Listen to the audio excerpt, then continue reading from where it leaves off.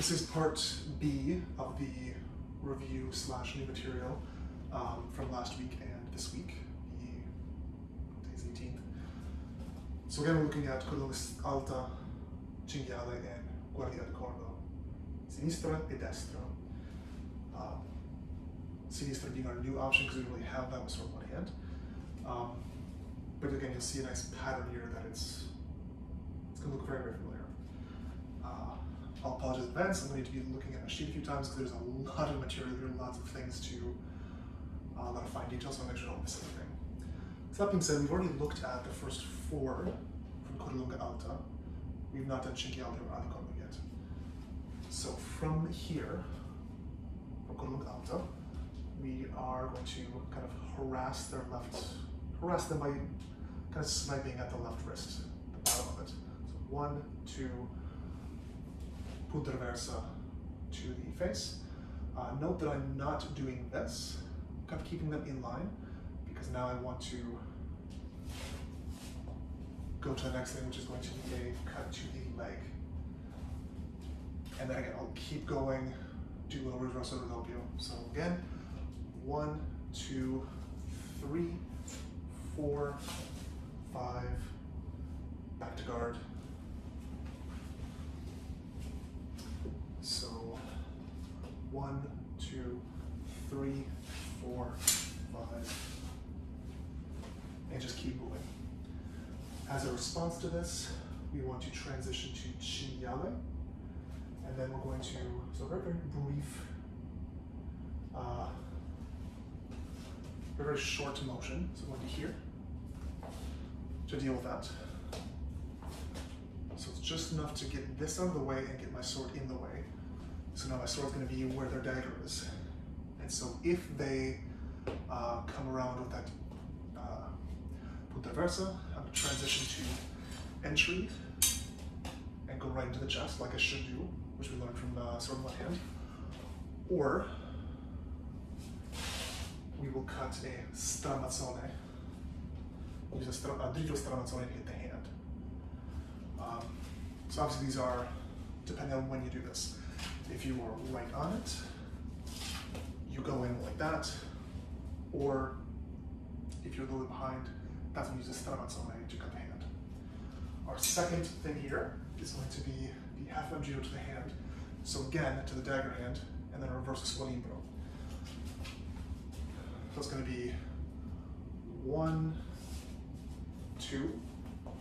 It's a little harder to see legs. I can't really move as much as I want to, but one,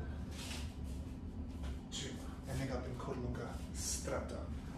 I'm going to do a similar thing. I'm going to use my dagger to cover, and I'm going to do a reverse, reverse stramazzone to counterattack. So when this comes in, I want to use so one, two. So line the body up with the right and left. This covers. This gets me lined up. This hits the inside of the arm. So again, right here. Option three is gives the imbroccata. And like I was saying last time, it's going to be towards our outside, so right pec. If it goes to the inside, then I'm to do something else. But they are going to basically go here, which allows me, if they're going to that side, that allows us do our outside slip. Guide them to our outside line, raise the hand, use the overhand reversal to hit the back of the neck. Finally, we have our good friend, the punta in falso. Now here we have a few options depending on when I do this and whether this is a real attack or a feint. So I'll look at all three offensive actions. First, then we'll look at the three responses, three possible responses. Number one being snap over, hit, great. That's very unlikely to happen unless they know what they're doing. So more likely is going to be snap, cut to the head, or cut to the leg, depending on what they do, how tight they are with their action. Finally, we can do a feint and go to the leg with a reverso. So, um, this is to be a little bit tricky. So I make sure that I'm not too deep in as I'm doing this. So I snap in. I'm to start this action. And here's where we want to trade so I can cut with my right, or sorry, use, use my reverse to cut. So it's really important that I haven't gone too deep in here. So one, two, and three. Uh, this is definitely one we need to practice in person so you can really get a sense of the feeling for it. But it's essentially, instead of doing this or this,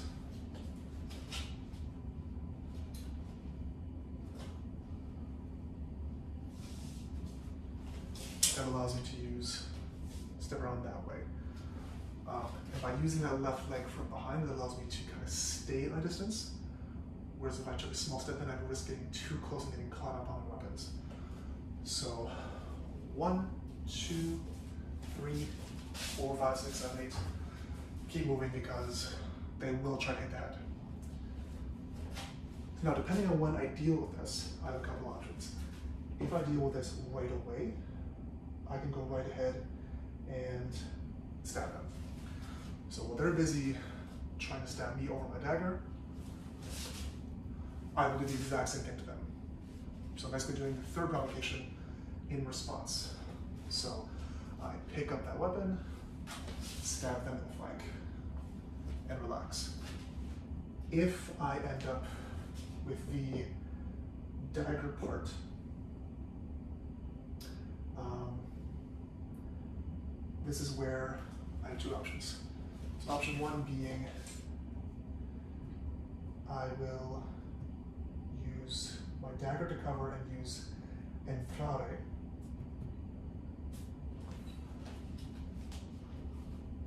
So I defend with the dagger and they go for a riverso. Sorry, this is where it actually gets confusing. So the feint is either a, so it's either.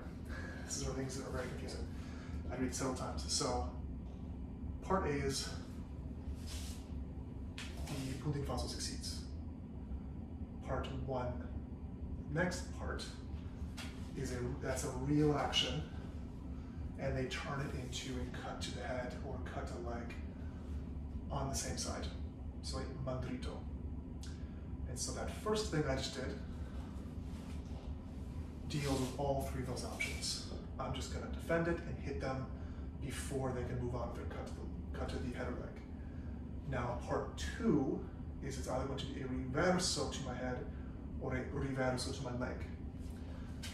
So when they do this feint, it can either be here or it can be here. So now if it goes high,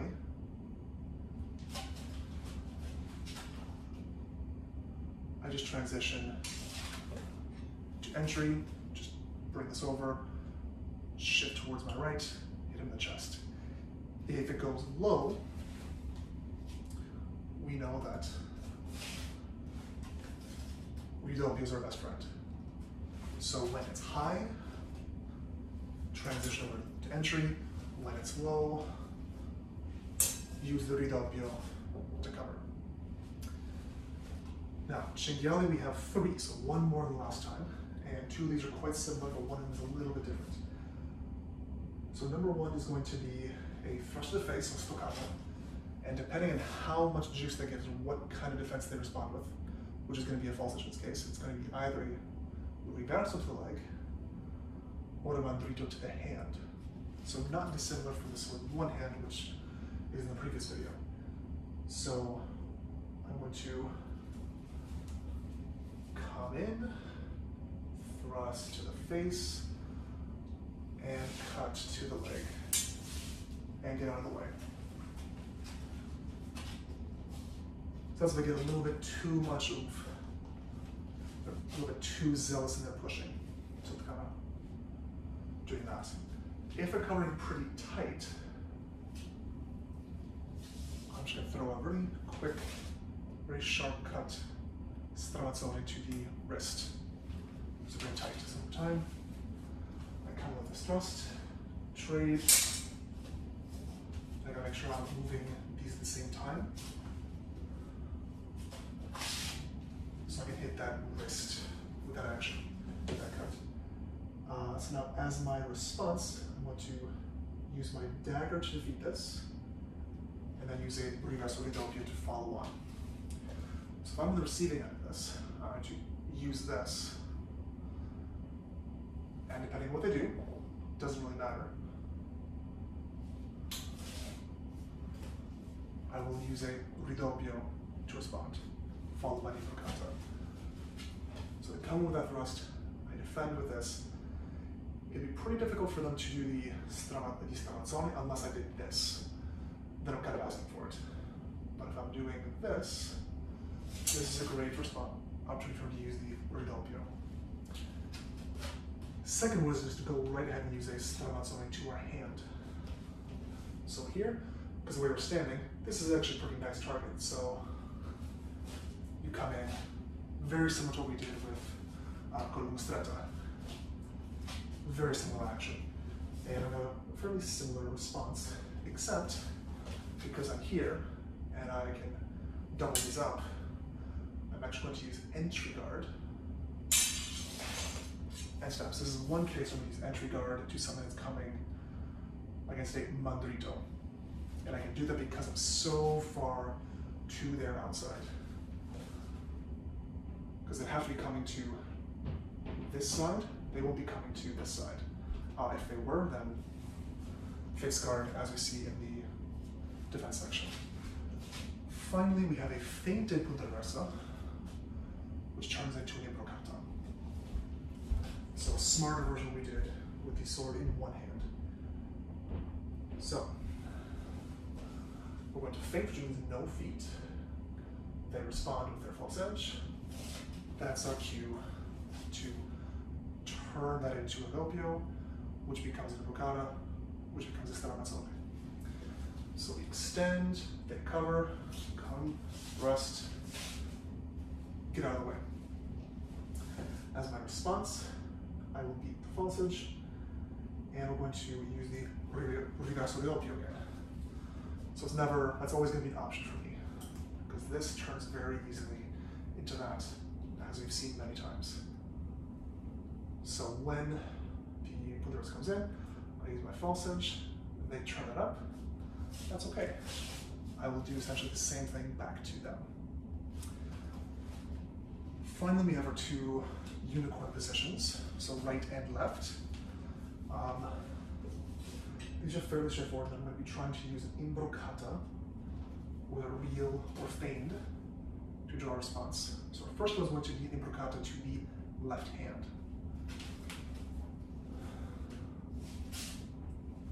So just to kind of hit the, the top of the wrist there. Now I can also use that and throw a uh, uh, So I'll start this and then finish the action. I'll do another one of those.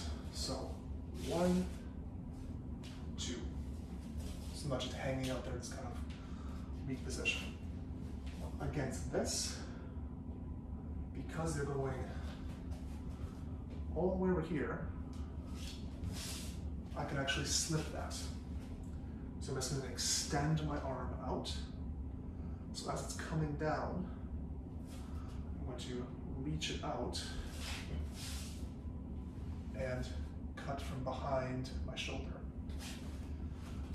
Now, if I'm aiming really high up here, that's not going to work If it's coming down to my wrist as it should be, I actually can guide that and just walk around. Option two is they do the, there's some kind of instrument here. So this is more of an invitation to kind of see what happens. So do that same action, but transition back. So I can kind of play with these two. So do the one where I'm actually hitting it, or do the one where I'm transitioning back to that way. Now, as my response here is I'm going to feint on my own. So while they're busy doing this, I'm sorry, this feint, I can feint, see what they do, and then follow on whatever makes sense. Cut, thrust, inside, outside, doesn't really matter. Finally, we can feint an imbroccata uh, to the body and then throw a mandrito to the hand. So, meaning feint to that there, and then throw to the left hand. So I go high, maybe they raise their hand. That's my cue to come around and hit down with my frito. And here, so as they do this feint, I can kind of move my dagger a little bit. I don't need to do too much. So I'm not gonna move my feet, but I will move this as the mandrito comes in. I will step back and hit a hit the a mandrito squalimbro. Finally, uh, guardia, guardia alicorno with the left foot forward, sinistra. We have two more options. Is we can do this gathering step again. So, and this is kind of designed to see what they're going to do. So not too dissimilar from this. Only difference being here is that this is in fact linear because we are already lined up. So I'm to see what they do. Now this one's a little bit easier to make it um, uh, harder to see the body movement because I'm already quite uh, in this straight line. So as long as I'm not going up and down, this should be fairly difficult to see, to perceive. So, and then again, if they don't do anything, that's my cue to go on. Uh, so basically what I'm looking for is they do something, and whatever that is, I use my dagger to cover it and step around and hit with a imbroccata, which is our basic defense from here. Uh, what I should do is if someone's doing this to me, aim for that left hand. As they take that step forward, hit, and that move on to the next thing. Finally, we can do a feint thrust and imbroccata. Uh, sorry, and so feint thrust, so imbroccata, and throw a mandril high or low. Here we kind of have two options, or one, one basic options here. One basic option. So I feint, cut high, cut low. So I'm not really gonna deal with the feint. So he says, I don't move my feet, but I'm gonna move my hand in some way so he'll do the next thing. Otherwise I'll get hit. So he does the imbroccata. Looks like he's no, I know he's gonna do this, this cut high, cut low. As he does that, I'm essentially using the canopy, canopy principle, keeping this high and hitting to the inside of the wrist. So that covers it for the provocations from uh, the sword and dagger. We're going to do, like I said in the previous video, we're to do a big recap of all of these, do maybe half one class, half the next. And then next class, we will pick up a different secondary meaning, meaning our big old piece of cloth. So we'll look for that in about two weeks time.